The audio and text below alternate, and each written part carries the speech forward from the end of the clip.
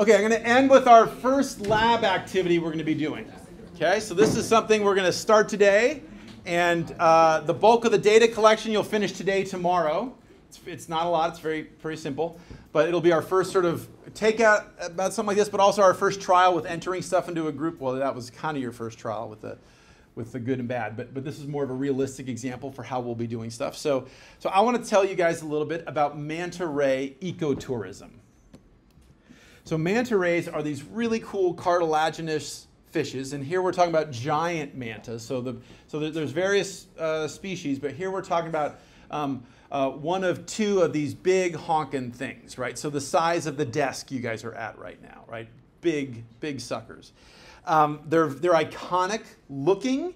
They look like an alien. They look like nothing we were used to encountering on, on land. And uh, they, they might look a little scary. They're actually a filter feeder.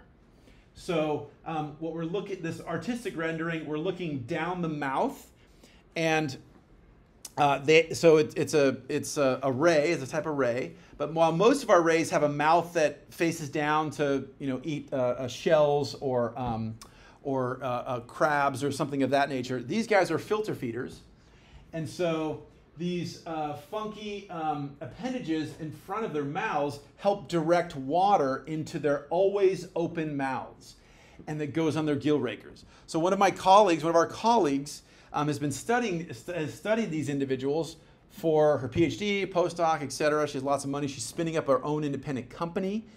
These guys filter essentially microplastics from the water, right? They're not trying to filter microplastics, they're trying to filter phytoplankton, but it's the same size as many of our small uh, microplastic pollution, which we'll talk about later in the semester.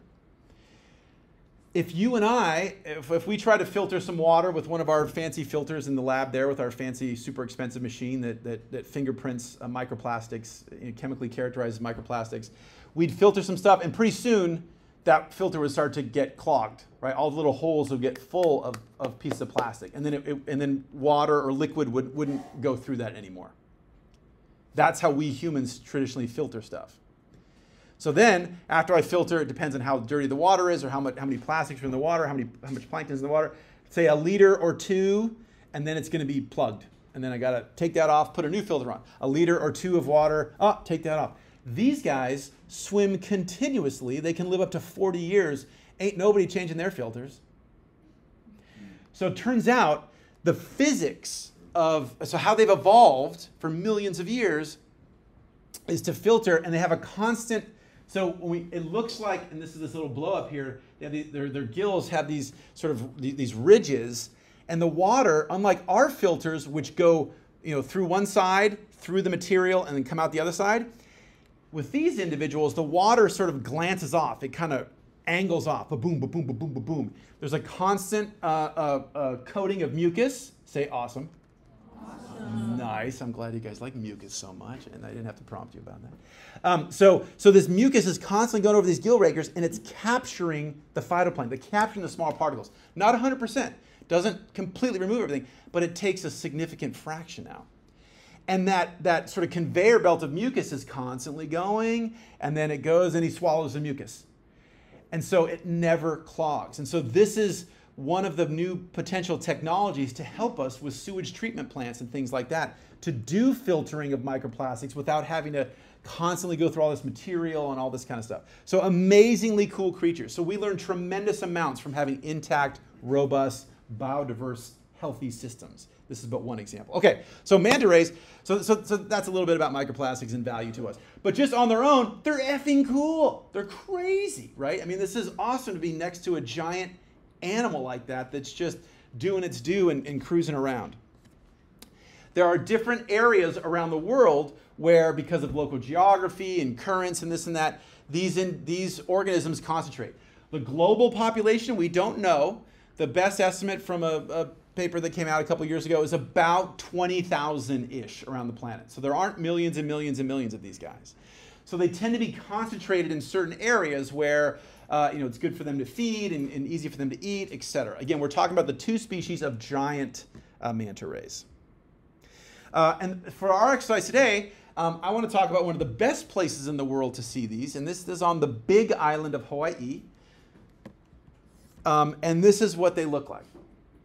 So I'll, I'll play for you a little uh, thing where, um, so one year I brought you guys, I brought this class to Hawaii one year uh, for one of our classes. And so we, we spoke with a, a tourism guy. He's going to tell us a little bit about the story, so I won't spoil it for you. Suffice it to say, um, uh, people figured out that um, so these guys are these guys are swimming around eating on phytoplankton. Uh, generally speaking, daytime phytoplankton not in the or, or many of the phytoplankton that can swim can control where they are in the water column will tend to go deep. They kind of don't want to be in the light because then fish see them, eat them, gulp, gulp, gulp, they die. Okay. So um, they go down. So at nighttime, they come up, they come shallower water because to shallow water, there's more nutrients, there's more things for them to graze on, and all that kind of stuff. Uh, and these, so these are not um, uh, phytoplankton, these are zooplankton, right? Because the zooplankton would need to be in the light in the daytime. Um, and so a lot of these planktonic critters are what we call positively phototactic, meaning they, they see a light source and they swim towards it. Evolutionarily, that was the moon. Just like last night, we had a super bright moon last night, right? So the idea is that that helps them cue on the right direction to go. So where they saw bright light, they've evolved over millions of years to, to swim towards the light. Well, uh, starting a few decades ago, um, some guys noticed at one of the, the piers in this part of Hawaii that there was a there was a floodlight going on. You know, you can you can imagine our parking lot over here which totally ticks me off on, on Potrero, um, that we have these massive lights on, like 24 hours, a day, or not 24 hours a day, but at night, right? It's great for safety when you guys are getting out of class, but I don't know why we have to have them on at 3 a.m. But we do, right? Because like, because for public safety, like we better have a light on. So on one of these piers, there was one of these downwelling lights, big street lights, right? So people could see if they were going out night fishing or the dock was, right? And these guys noticed, hey, where that light was shining, there was a bunch of manta rays. So what's happening was the manta rays, because the phyto, because the excuse me, the zooplankton were attracted to the light on the pier, the manta rays like, damn, dude, I can eat, right? It's concentrating on my food. This is like a smorgasbord. It's like going to a free buffet and just eat, eat, eat, eat, eat. So these guys started going there, and the other people started going there, and then it essentially, um, you'll hear the story in a second, but it led to this industry. Now it's a full blown thing. So this is what now people artificially add light down underneath the water and point it up in the up in the you know up towards the surface of the water and this is very shallow this is like in 15 20 25 feet of depth of water and the manta rays just come on in so it's like no manta rays click on the light boom it's like massive imax show right in front of you and it has become tremendously popular so here's a shot so you see, here's from one dive boat, you see some people snorkeling over here, see another uh, snorkeling group over there, and you just see all these boats out there. So when, I'm going to turn the lights down so we can see this a little easier. So when my when we were there, um, uh, we we were on the cheap, so we were staying in hostels when I took uh, our previous class there. Um, but we went to the Sheraton, which is the which is a, um, a big hotel, and this is right off that hotel. So if I pick up a rock and throw it really, really far, I probably could hit the first boat. And so what we're looking at is we're looking out to the ocean. So I'm standing on the on the intertidal on the rocks, and we're looking straight to the ocean. All those little lights are a um, are different uh, uh, dive boats.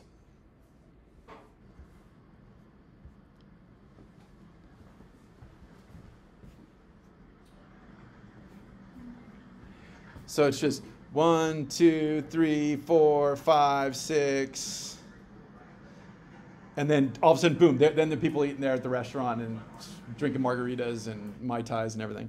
So that's what that looks like. Okay, this is the then head of tourism for the Big Island. And he gave a presentation to our class, and I recorded. I recorded some of it. So this is him just talking about manta, the the manta ray ecotourism, and this was about Ooh, this is about seven years or so ago. Okay. So it started in the 80s?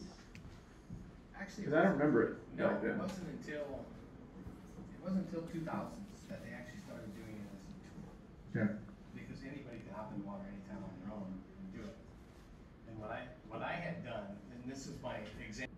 They're not running away from the people, they're actually coming towards them.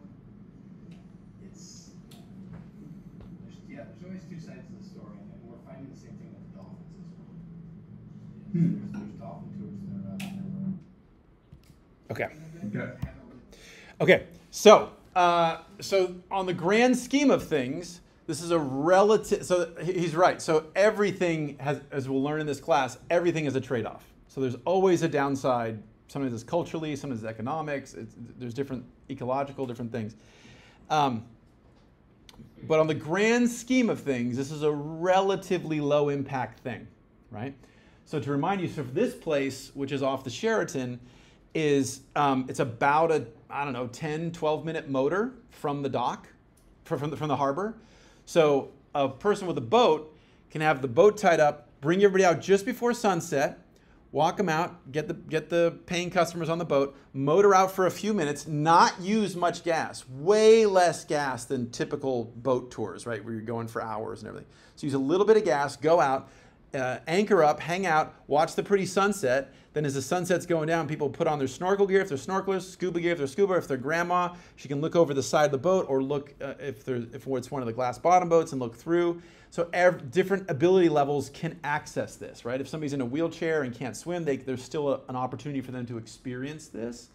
Um, and and we're turning the lights on, right? And so so we're not depleting the zooplankton population on the reef, right? And and and this is another case of the the organism coming to us. We're not sort of harassing it, trying to tra- track it down and all that kind of stuff. So it's not perfect. I'm not implying that, but but it's relatively low impact. Most of the concern now is like from this picture, Yahoo's dropping an anchor on somebody else. Uh, you know, a, a- boat bumping into somebody else, or somebody maybe is not good, uh, comfortable in the water, getting spooked, and then bump, bumping into something. That, that's sort of the risk. Right? It's sort of like a congested highway types of risk. But my question for you, what we're going to be doing for our lab, is asking, hey, is there an economic benefit to this? Is this is this a viable business? And so again, this is this is uh, what it, it looks like if you're at this uh, fancy hotel and, and and you can see as the sun is setting, you can see these boats right here, right off of the um, right off of the uh, place. This is to orient you. This is the Big Island of Hawaii, and what we're talking about is this region of Hawaii. So we're talking about the west side of Hawaii. There's various places where these individuals congregate, but for the purposes of our lab today, we're just going to focus on th- this main hotspot, which is right in this uh, red area. And so ultimately, we're trying to, there's a few questions here, but the main question is hey, does this work financially? Does this seem to be happening financially? And so, what you guys are going to do is you guys are going to um, look on the web, see what the current information is, and then as much as you can get. In some cases, you might be able to get just about all of it, but you can't get 100% of it. Then you need to reach out to these two businesses, um, either with email or give them a quick phone call, which is the easiest thing, and just sort of check in and get a little bit of the, the final little bits of information. Um, only two businesses, so it's only two things. It's not shouldn't take very long. You guys have until tomorrow midnight to get them done, and then we'll pool the data. So let me uh, show you what this is going to look like. So this is also in our shared folder. And it's in the Manta Lab one. And so here it's in this spreadsheet. So um, let's have a look at it. This is data from the previous years. So we're on the, let's make sure you guys can see this tab. So we're on the uh, 2023 tab. And now that last exercise I did for you guys, it was kind of a little bit of a scrum. Like, oh, we're group two, or three. So generally I won't be doing that for our data sheets. I'll try to lay it out so you guys have clear areas to type your stuff in. So it's not like everybody jumping on top of everyone. But in general, everybody look at me. This is the process. Everybody look at me. Don't, and, and it doesn't, this is a very easy exercise to start, so it's not the end of the world if you do this. But it's best to get into the good habits right now. The general approach is going to be this. Here's our shared data sheet when we have one of our lab activities, I'm going to go make a copy of that on my local uh, drive, right? Duplicate it on my drive. Don't hit copy right here and make fi- 15 copies inside our shared folder. I'm going to duplicate that into my drive, save a copy in my drive, either in your Google Drive if you're on like a, a mobile device, or ideally on your desktop, on your laptop, right? Save it on a laptop, gonna change the name, and then enter your data on that sheet, right? On your master sheet. That's gonna do, do two things. If we're all trying to type on this thing at the same time, it's gonna slow it down. And what tends to happen we have this many people in a class like this, um, somebody's gonna be going like, I'm gonna click on this, and then it's gonna be unresponsive, and like, three, three, it's not working, three, and then all of a sudden it's gonna go three, and it's gonna put like a whole bunch of threes in, right? And then somebody's data will get overwritten, and then when I go to grade it, I'm like, oh yeah, Ashley didn't didn't didn't enter a date. It's like, what? I totally did it. I'm like, nope, it's not here. So by having all your data entered in your master, you can just easily go back, recopy it, and paste it in. If it accidentally gets, um, you know, nobody's going to intentionally delete your data, but if it accidentally, some little hiccup like that happens. So the process again, make a local copy. Make a local copy in your own personal drive or onto your desktop, the pr- preferred thing. Do all the data entering there, and then when you're ready, just highlight the cells, go back to the master, and just do a paste. That's the best practice and then just archive that sheet. So if there is ever any question that you didn't get credit for something, we can go back and correct it. Does that make sense? Okay, cool. Let's take a look at let's take a look at, at this. So what we have is we have uh, everybody's name, uh, different assigned folks, right? And so I've done the first one as an example. And if you want to see other examples, you can click on other years and see what ones that look filled out if you want to see what the pattern is. So so this is this is the name of the business this is the website of the business. And then the phone number. So the phone number you call, because you probably need to call to ask them a couple questions. Um, you put it, put it in there, right? And then there's a series of questions. So almost all of these are in this region, so it's going to be yes. And it's pretty straightforward. Um, what we're going to do is we're going to pretend that we're part of a family, and we want to go on a uh, on a snorkel with the manta rays the week of September 11th, right? Anytime that week. So we're going to pretend we're, we're Joe Blow tourist, and can we do that, right? So you're going to look. Most of these websites have a calendar to book it right on the web, so you can mostly, for 90% of these, you can tell pretty easily. Some you might have to call and ask for, hey, do you guys have any availability this week, right? Um, but so I'm going to say, right? So I'm going to say, uh, and, and the options that you're going to put into each of the cells are in parentheses right? So this is the this is the variable, and then these are the you're going to put in lots, some, little, or none, meaning uh, that week.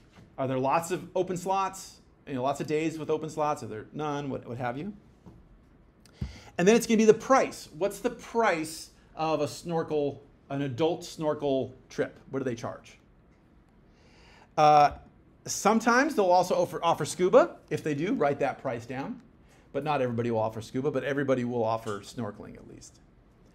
And then uh, how long is the experience? For most of them, it's about an hour, hour and a half.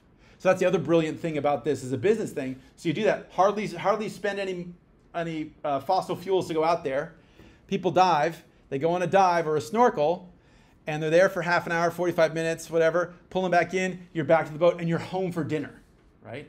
So you've, you've done a whole charter, which normally would be like half a day and you'd be driving far away. So it, it's, it's, it's, there's a lot of attractive things about a sustainable coastal business here um, for this particular type of ecotourism. Um, so we want to just want to, hey, how long is it? How many passengers are on the boat? Is it like a cattle boat with like 180 people? Is it a small boat with about eight people? That kind of thing. And again, most of the stuff you could probably tell from the website. Uh, the things that you won't be able to tell from the website that um, you're going to have to call up and just ask is, uh, and I would just say, you know, I'd just say, uh, and I'll, I'll, show you the script in a second, but I'll just say, hey, you know, uh, I just was calling up to see, just making sure you guys have availability, and I just was curious, um, uh, you know, uh, we're thinking about coming by, um, and I was wondering, is is stuff ret- has has stuff gotten better from COVID for the last several years? Everybody's business was down, right? So it was hard to make a living. Just like we all know that our restaurants were struggling, same thing over there. So just, hey, is, is stuff back to the, the pre-pandemic times or, or yes, no, what have you? And then uh, just because it just happened, have you, this year, we've not asked this question before. We've asked these other questions in all the previous years. But so the question is just going to be, hey, so is have you seen, now this is the big island of Hawaii. The major devastation was on Maui, a different island. But there were also fires on the Big Island, right? Not as devastating as the Lahaina fire, but nevertheless wildfires that destroyed property and stuff. So one of the questions is, hey, did people hear that Hawaii is burning and just bailed on it, and so they they're not coming at all, even though this this area is not impacted? Or, or was there no impact? Or maybe there maybe it's better. Maybe people bailed on Maui and are going to the Big Island because they're because of the fires, right?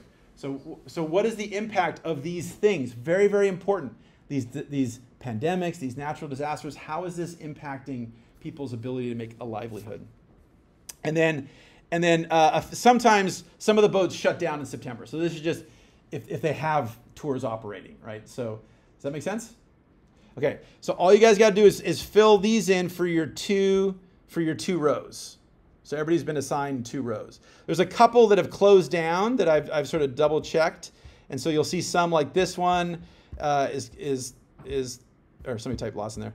Um, but there's a couple over here like like these these guys have, this business is shuttered, and so so they've gone out of business. But um, but I believe the ones that I've assigned folks uh, are are still in business. Does this make sense? Okay. So all you need to do for the data collection here is to look up your two dudes and fill them out and do that. Now we have a really large class this year, so we kind of ran out. So the last couple folks, um, uh, I have if, if you so if this is one of you guys, or if you go to look for your business and your business is closed, if that that could happen, that probably is going to be a few of you. You guys just come talk to me, and I'll give you some alternative places we can look to find some other businesses, probably like in, in other other regions. Make sense? So that's what you're gonna do. So you're gonna type that in, and for this data collection purpose, that's all you need to do. I will do a bunch of calculations this weekend once you guys type the data. I don't want to confuse you with how we're gonna do that. I'll explain it to you after the fact. But but if you guys collect this data, we can make some estimates as to what's going on. Okay? The last assignment for the and this is all in week one, even though we're in week two. This is in week one in the lab section. So when you go to look for it, that's where this is. Okay? If you want to go back and, and, watch this video and other things like that, right, to review stuff. Um, let's take one quick look right here. So, um, so there's one other thing I want you to do also, which is very quick. So uh, I want you to type into ChatGPT this prompt. Write me a paragraph describing the fiscal benefits or costs of manta ray ecotourism within the greater Kailua Kona region of the Big Island, uh, including references, right? And then, and then when you get your answer, I'm going to scroll down to wherever my last name is, click right here, hit return, and, and, and paste my answer in. And we'll see, we'll see what, uh, and then we'll do our own version of this next week. But, but so, so for this lab, just got to look up these two businesses, and do a chat GPT prompt, and then you'll get full credit for this lab, this part of the lab. Make sense? Okay, the last little bit, I'll just point out to you that here is a script. Oh, wait, where the hell did we go? Uh, where is it? Okay, right here, if I, if I click on this tab, this is, I mean, you can say what you want, right? You guys say, hey, I'm part of a class, we're doing a project, that's cool. Um, but we found over the years that a lot of times it's faster just, hey, just got a quick question. Um, uh, you know, uh, so if they don't have any booking, a lot of these guys have bookings. You can just get it off off the website, but some of them don't. So just so we're consistent, and somebody isn't asking one thing and somebody is asking something else.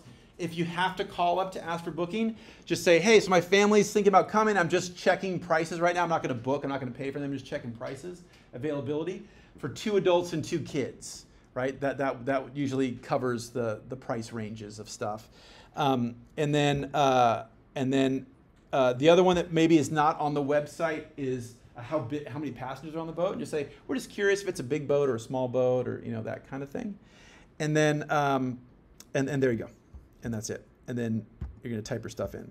If you guys are one of the groups that either you don't have one assigned, so we have so many students in the class right now, or if you go to do your business and you just find the business is totally closed, please indicate that the business is shuttered. But then um, uh, uh, I'll give you guys a choice. Uh, where would you guys like to look? Would you guys like to look in Indonesia or Mexico? Indonesia. Okay. So then, so then for the folks doing that, there'll be different dive operators, and and you guys will just need to Google those, and just and just put the, the name of the establishment and, and stuff in. So so all the other ones I've already I've already pre-picked. The only additional thing is you guys just need to tell me the name and the and the website. Does that make sense? Yeah. Questions? Okay, so first, let's make a couple quick predictions. What do you guys think is going to happen? What do you think we're going to find? You think we're going to find uh, business is, is back to pre COVID? Yes? So, okay, that's right. So, who thinks it's still down from before COVID? Just show of hands, quick show of hands, just out of curiosity. One, two, three, four, five. How many people think it's about the same? One, two, three, four, five, six, seven, eight, nine, ten. How many, how many people think it's better than before COVID? Oh yeah, Steve. See, some people volunteer. See, some people volunteer. Okay, cool.